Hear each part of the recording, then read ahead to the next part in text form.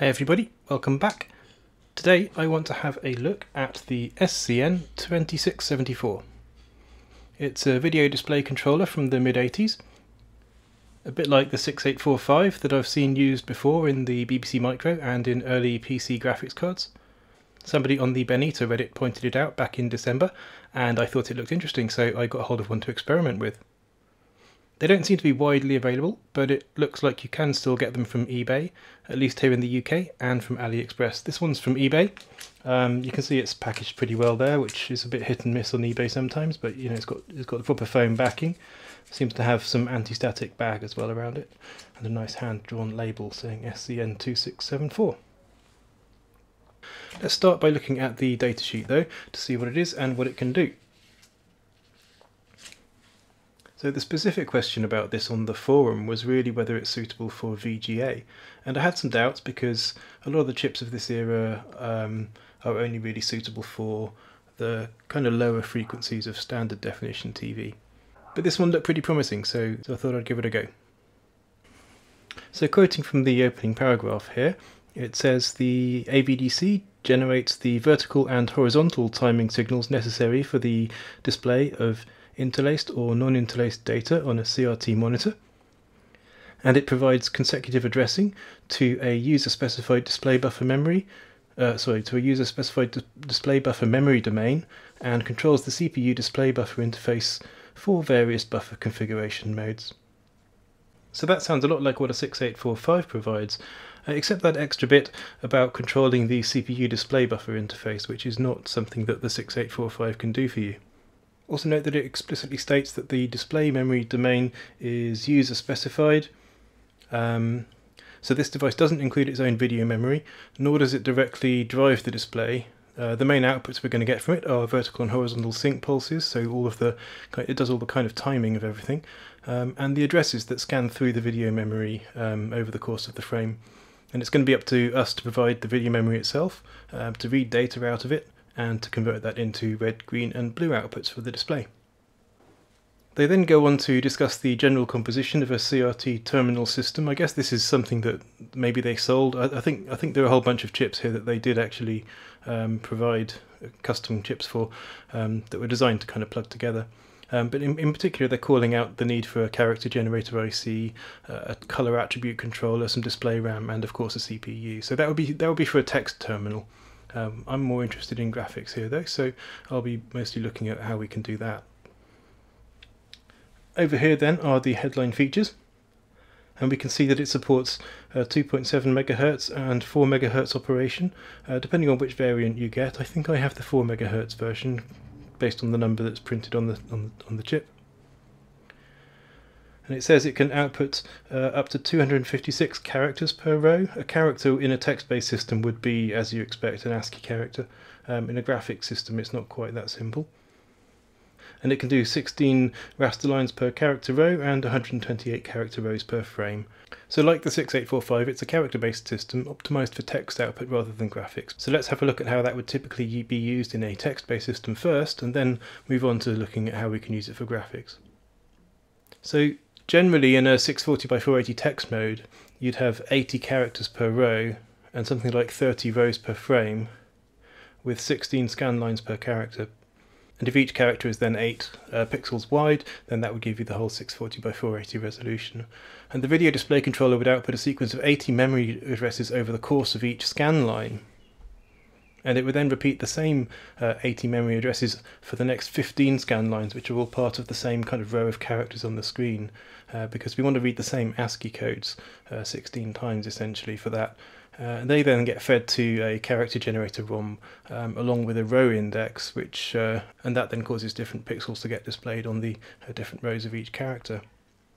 And after it's done all 16 scan lines of one character row, uh, for the next scan line it will advance to the next sequence of 80 memory addresses for, to, so that it can display the next row of characters. So at a very basic level, to get graphics output, we could consider each character to be a whole pixel. And according to these specs, we would then get um, potentially up to 256 pixels across the display. And we could configure the chip to output, for example, 120 character rows with 4 scan lines per row, uh, to get our vertical resolution of 480 out of that. However, we need to pay attention to the maximum character rate, which uh, which is this 4 megahertz at the top here. So the pixel clock for 640 by 480 VGA is actually around 25 megahertz. So if we wanted to get 640 pixels across the screen, we'd need to be uh, clocking it at, at 25 megahertz, which is obviously way out of spec here. The fastest character clock we could provide that divides uh, 25 megahertz cleanly but isn't greater than 4 megahertz is about 3 megahertz. It's like 3.1 megahertz or something like that, uh, which would correspond to 8 VGA pixels. And for, for comparison, that is half of the character clock that rate that I'm currently using in my own VGA circuit. Um, and when I say character clock there, I mean the rate at which I'm actually reading from RAM. So that means we're still stuck with a maximum of 80 pixels per row if we consider uh, one character to be one pixel. To get a higher resolution horizontally, we would need to add our own circuit uh, to output multiple pixels per character clock, uh, which is very much like what I did already in my VGA circuits. Um, and it's usually done using shift registers or latches, uh, but of course it adds a lot of complexity. So we'll deal with that in more detail later on, but first I want to just get it hooked up and try to get the right sync pulses out of it. So let's look at the pin out over here. Um, the datasheet has, in addition to this, it has a great description of what all the pins are for. Uh, but the ones we're going to need first fall into a few categories. First of all, we have the usual kind of bus control pins with a read, a chip select, and a write signal here, which is much like the way the way RAM works. Um, and we have these uh, three address lines here A0, A1 and A2 which allow us to select uh, one of up to eight kind of uh, register ports on, on the on the controller. And we have eight data lines over here as well to, to send data in and out of it. So that's a very standard kind of arrangement uh, just like for just like for the kind of RAM chips we're using as well. So secondly there's a character clock pin over here called C clock um, and this controls the rate at which characters are kind of output on the display. It's the fundamental timing metric that the, that the chip uses for all of the sync timings and things like that. And like I said before, maximum frequency for this is 4 megahertz. We're going to use about 3.1. We're going to divide 25.175 by 8. And finally, there are the sync outputs. There's a horizontal sync, um, a combined vertical and composite sync pin here um, and a blank pin which might also be useful as well. Um, and these are the main kind of outputs that we're going to be looking for in this kind of first trial of, try of using the of using the chip. And I believe the sync outputs here are active low, which matches the required polarity for 640 by 480 VGA. If that's not the case, then I'll need to put inverters in. There's also a nice block diagram of the uh, whole device here. Um, and you can see over here the bus uh, control inputs uh, to this interface block. Uh, the data lines come in here. Uh, the address uh, lines also come into that interface block. Um, and that's mostly going to set registers in this control block from the values that we're going to pass in on the data bus. Down at the bottom, uh, you can see the clock input that we're also going to be providing, um, and they've just kind of drawn the timing circuitry down here, and you can see that the sync pulses and blank output come out of there as well.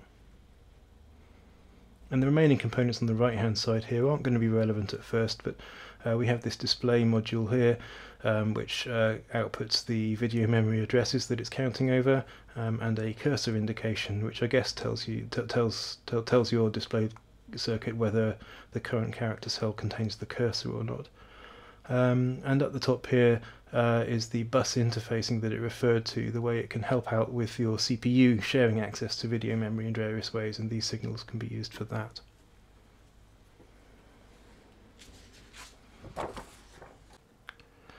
So to get things started, I'm going to wire a 25.175 MHz VGA oscillator with a fast counter to divide it down eight times to get the character clock that I want, um, which is a little over 3 megahertz.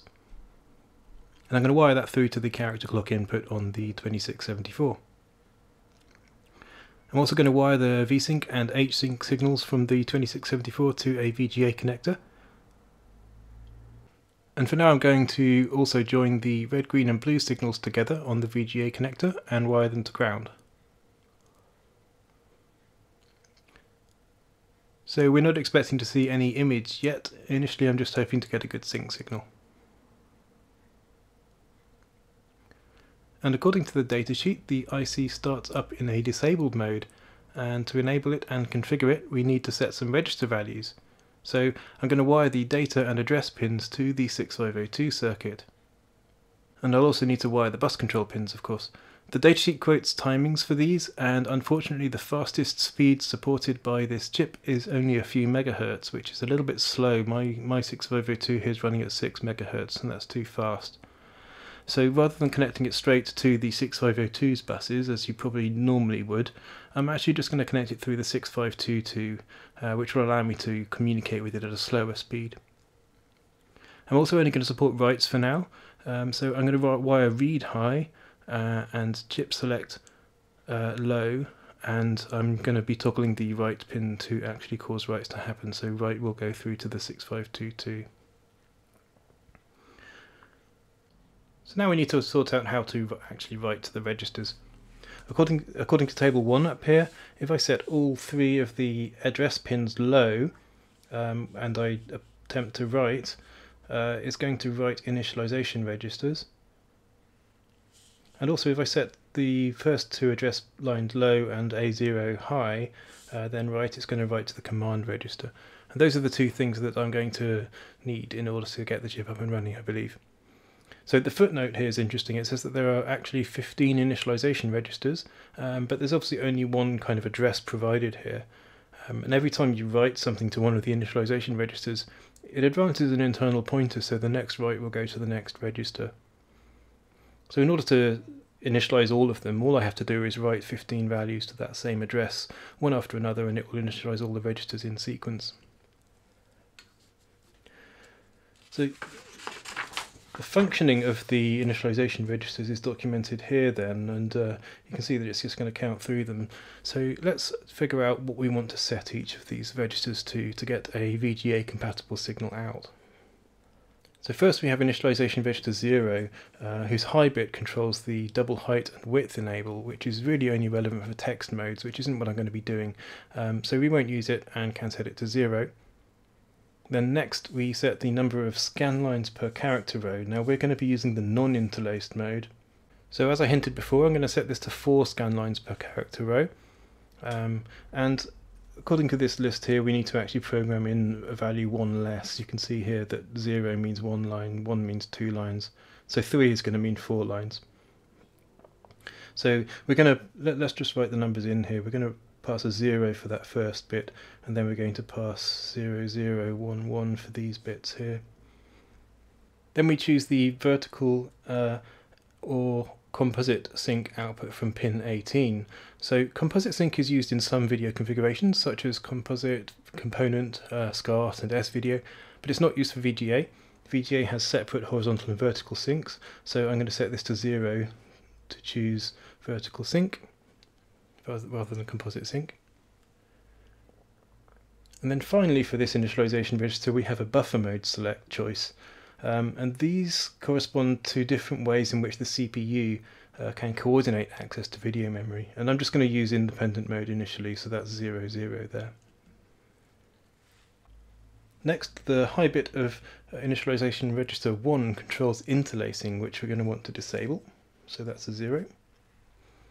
Then the lower seven bits define an equalizing constant. Uh, and the datasheet elsewhere has a bit more information about how to calculate this. Uh, the formula is also given here though, uh, and it says it indirectly controls the width of the horizontal front porch. So for 640 by 480 VGA, the horizontal total is 800 pixels, but we need to give numbers in character clocks here, so that's only 100 character clocks uh, for this kind of sum here. Now we're going to divide that by 2 to get 50, and then we need to subtract 2 times the horizontal sync width. So the horizontal sync width is 12 character clocks, so 2 times that is 24 character clocks. We'll subtract that off and get 26. Um, and then, according to the table here, again, we need to subtract 1 again uh, to get the number we actually configure. So this number here is going to be uh, 25. So what's that? That's like 0, 0, 1, 1. Is it? Yes, and then 001. there is a little problem here which we're going to have to deal with a little bit later. Um, the datasheet uh, says that the uh, minimum front porch is three character clocks, but for VGA it's meant to be just two character clocks at the clock frequency we're using. Um, we could perhaps just get away with this by reducing the back porch instead to keep things within spec. I'm not totally sure yet, but I need to remember to subtract uh, an extra character clock from somewhere um, to make this all add up, and I'll do that a bit later on. So on to initialization register 2. Um, the top bit is used to enable the row table, which we're not using yet. So I'm going to set that to 0. Then there are a few bits to define the horizontal sync width, which as I said is 12 character clocks for VGA. Um, what's the calculation here? I'll deal with that in a sec. The last three bits define the back porch width, which is six character clocks. So I'm going to round the back porch down to five uh, because only odd numbers are supported here. So these values then need to be uh, translated through these tables, um, and I, that's going to give me five for the first one and uh, two for the last one. Initialization register 3 starts with 3 bits defining the vertical front porch, which should be 10 for VGA. And then the bottom 5 bits define the vertical back porch, which should be 33. However, according to the data sheet, um, just looking at these tables, it looks like the front porch needs to be a multiple of 4 scan lines. And the back porch a multiple of 2. So neither of those actually fit. Um, and looking ahead a little bit uh, to initialization register 7, the vsync width also needs to be an odd number, whereas the standard number for 640 by 480 here would be 2. So I need to adjust all of these a bit. So what I'm going to do is I'm going to increase the vsync width to 3 scan lines, because I think bigger is probably better for that. Um, and then I'm going to increase the front porch from 10 scan lines to 12. And then I'm going to decrease the batch, back back porch from 33 scan lines to 30. So I'm just following a general principle of preferring to increase small things and decrease large things. And we'll have to just try it out and see whether that actually works. So the ultimate value I'm going to get out here um, after translating through these tables is going to be 0, 1, 0. Um, that's to choose 12 scan lines for the front porch. And then 0, 1, 1, 0, 1 uh, to get 30 scan lines for the back porch. Now initialization register 4, uh, the top bit here defines the blink rate of blinking characters, um, not doing characters so don't really care about that. And the remaining bit define the number of character rows on the screen um, which is going to be 120 for us. Uh, and again we subtract 1 so this comes out as um, 119.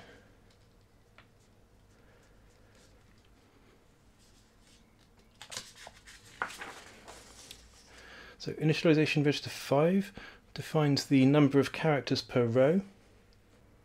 So I think the value I'm going to have to use here is 79. I'm not totally sure. Remember I need to subtract one for the um, front porch change. Um, so I'm going to go with 79. Um, we'll see how that goes. I don't know if it's going to work properly. Uh, then what have we got here? Initialization register 6 uh, looks like it's all related to the cursor, so I don't care about that. I'm just going to use 0 for that one. Um, initialization register 7, yeah, the vsync width is important. So as I said before, I'm going to have to use 3 scan lines for the vsync width instead of 2 scan lines as I ought to. Um, and this table's in a funny order, but that seems to be correct. The cursor blink I don't care about, the cursor rate I don't care about, and the underline position I also don't care about because those are all text mode only. So I looked ahead at these and I think the remaining registers are only important for um, things like hardware scrolling and uh, stuff like that. So um, yeah, split screens and things, double heights and scrolling again.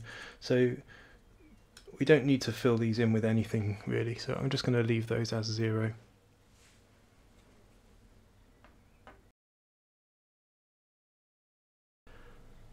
So these are the values we need to program in, but first I apparently need to issue two master reset commands in a row. Commands are issued by writing to address 001 and master reset is all zeros according to the datasheet,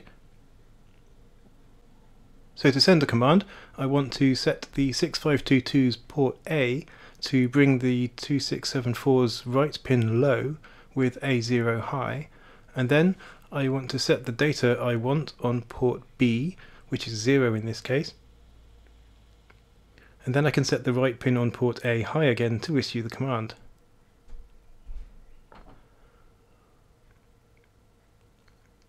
I need to do that twice here to send two reset commands uh, and then we can start sending the initialization register data.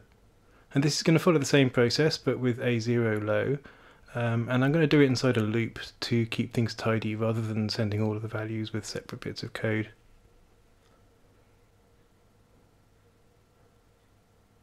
So after that's done then we should start seeing valid sync signals. So let's give it a go and see what happens. I'm not going to connect a monitor straight away, I'm just going to use a multimeter first to check the sync frequencies are appropriate, and then maybe verify some things on the oscilloscope as well. And once, once everything looks good then I can try on a monitor. Okay, so let's see what we've got here. I put the ROM in with the program on it. Uh, everything's wired through to the VIA here now. Um, only one of the address lines wired through, the other two I can keep them low, that should be fine. Um, the power is on and I've got the meter ready in frequency monitoring mode. So turn on the power.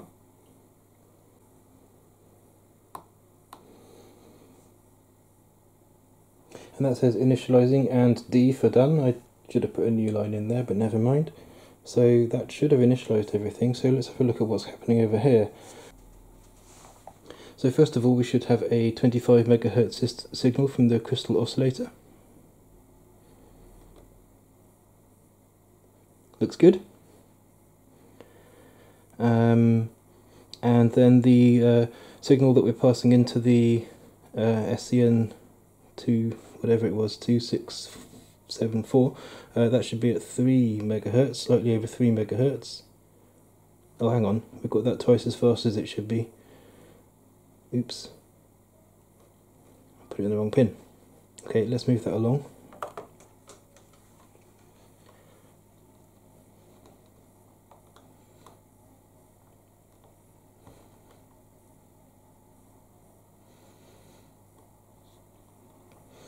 Should have checked the pin out more carefully on the uh, timer IC here. I think um, I got the wrong one there. Let's try that again. So again, we've got initializing and done. And the clock input to the video chip is now 3.146 megahertz, which is great. That's exactly what we wanted. So um, hopefully now we're getting sensible frequencies on the syncs. So let's have a look at that. We've got 31.46 kilohertz. Uh, that'll be the horizontal sync, so that's perfect. That's exactly what it should be. And the vertical one, yeah, I can't read the vertical one with this meter because the duty cycle is too short for the vertical sync. Um, it only dips down very briefly, and yeah, the meter I don't think can read that. But yeah, that's really promising. Let's have a look on an oscilloscope and see if we can see the vertical sync as well. So, as is often the case when I make something like this, I'd made a mistake, and it took quite a while to track it down, so let's talk through that. What you can see here in yellow is the main VGA clock at 25.175 MHz. Next I'm hooking up blue to the divided clock that runs at about 3.1 MHz and feeds into the video processor, and I'm setting it to trigger on blue instead of yellow, so those signals look fine, if rather noisy. And now I'm reconnecting the yellow probe to the vertical sync and getting nothing. So I'll try the horizontal sync instead and that works. Um, changing the trigger again makes that more obvious. And we can see a nice wide horizontal sync pulse. It's 12 character clocks wide, which is what we wanted, and the frequency seems to be pretty much bang on what it's meant to be. So next I connected the blue probe to vertical sync and zoomed out, but I'm still getting nothing there. And at this stage I started to wonder whether the IC was broken, or whether I'd missed a command I needed to issue to cause the vertical syncs to start, um, like a command to wake the monitor up from sleep mode for example. Um, however, I'd expect horizontal syncs to stop as well if the monitor was meant to be in, sync, in sleep mode. So I swapped the blue probe to the blank output from the video processor, and I found that that was high all the time, which means that the video processor is asking that the display be blanked. And this was another indication that it could be trying to put the monitor to sleep, I thought. So I read the datasheet and found that there is a display on command and that after initialization it will hold blank high until it receives that command. However, it also said that in the meantime it will send valid um, horizontal and vertical sync pulses. So that wasn't entirely what was wrong. It doesn't really explain why the V-syncs aren't working. I also probed some of the address lines here and found that they were counting up as expected, uh, but not all the way. The last three address lines on the IC were all coming out zero. Again, looking at the datasheet in more detail, I found that initialization register 9 defines a uh, display end address, um, and because I just set that to zero, the addresses were all wrapping after 4K, which explains why the last three address lines were all low. So next I updated the code to change the display end address and added the display on command at the end of the program. And I also checked the calculations for the initialization registers and made sure I'd typed them in correctly, and I experimented with changes to the vertical timings to see if it was just some issue with the particular numbers I had used. So this wouldn't generate a VGA compatible signal if I changed these timings, but I can still do that to help me diagnose the problem. None of these made a substantial difference though, except that it was now counting up over the entire address range as expected.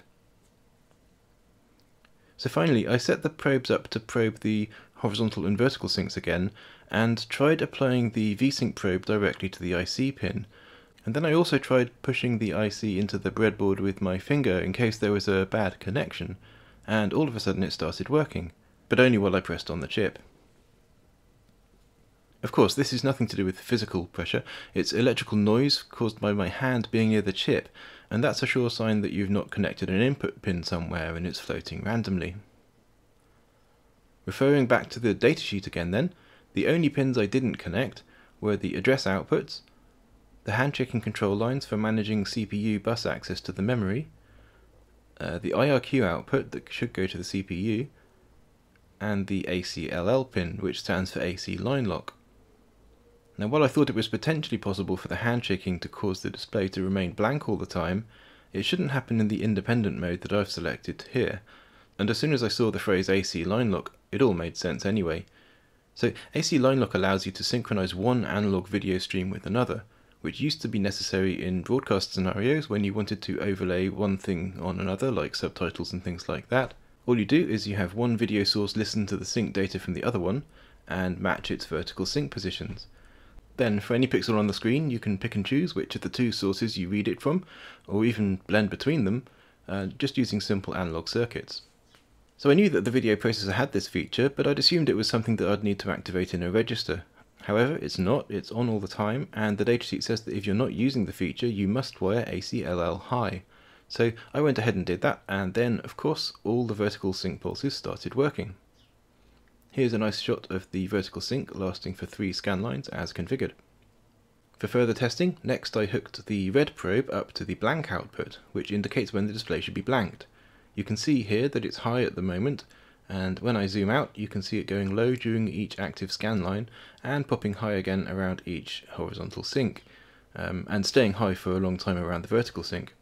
I can also set the uh, oscilloscope to trigger on the blank signal to get a better look at the horizontal timings, and it flickers from time to time as sometimes it's triggering on the vertical blank rather than the horizontal blank, uh, but it's enough for us to be able to see what the timings are like and we have about 300 nanoseconds here for the front porch, which is about half of what it should be, and the back porch here is about two and a half microseconds, uh, which is longer than it's meant to be by about 600 nanoseconds. So a few things are wrong here. Firstly, I misunderstood the constraints on the back porch, as you can see in this shot from earlier in the video. The value I programmed in corresponds to 7 clocks, not 5 as I intended, so this is stealing two of the clocks that ought to be going to the front porch. Secondly, when I programmed the number of active characters per row, although I tried to subtract one to make the front porch bigger, I actually needed to subtract one again due to the fact that, as is often the case for this IC, the value to program in is one less than the actual number of clocks that you want to use, so in the end I was not gifting the extra character to the front porch that I'd intended. So, this all started out with me wanting to see whether this IC was capable of VGA timings, and as quickly became obvious from working out the register values, the answer is kind of. It is able to produce a signal that my monitor recognizes as 640 by 480 60Hz VGA, but it's not possible to get the timings exactly to spec. Both sets of porches and the vertical sync duration have to be rounded to values that differ from the official timings. Anyway, the other point of this exercise was just to have fun figuring out how to use a monolithic IC that I'd not used before, and going through the challenge of reading the datasheets, working out how it operates, what register values to set, and so on. So, although it didn't work first time, it was due to a stupid wiring error, um, and I'm pleased that everything I worked out in advance from the datasheet was actually pretty much correct. I don't know whether I'll actually use this IC for anything substantial, but one day I might go back and look at the memory interfacing and make it actually generate an image. I already have a pretty good grasp of how the different bus modes operate, and on the whole they're going to perform worse than the kind of thing I'm doing in my own circuits, um, but some of them are easier to configure. The independent mode, for example, doesn't need any additional connections from the CPU to the video RAM, it all goes through the um, this chip itself. So there's potentially a great convenience factor there. So thanks for sticking with me through this as it's quite a bit longer than usual. And do let me know if you're interested in more info on this IC or if you can dig up any other obscure ICs from past decades that it might be interesting to figure out how to use. See you next time.